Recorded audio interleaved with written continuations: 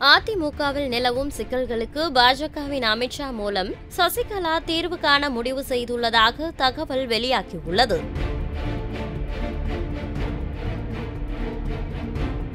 ஜெயலலிதா மரணத்திற்கு பிறகு சசிகலா சிறைக்கு சென்றதால் அதிமுக எடப்பாடி பழனிசாமி வசமானது.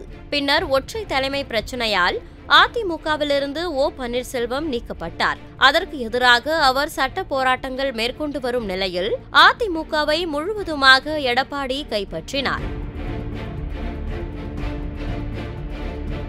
அவர் சசிகலா ஓ பன்னீர்செல்வம் டிடிவி தினகரன் ஆகிய மூன்று பேரையும் கட்சியில் சேர்ப்பதில்லை என்ற முடிவில் உறுதியாக உள்ளார். இதனால் பிரிந்து கிடக்கும் அதிமுகவை ஒன்று சேர்ப்பேன் என்று நம்பிக்கையுடன் கூறி வந்த சசிகலாவின் திட்டம் தவிடுபொடியாகியுள்ளது எனவே அதிமுகவில் நிலவும் சிக்கல்களுக்கு அமித்ஷா மூலம் தீர்வு காண சசிகலா முடிவு செய்துள்ளார்.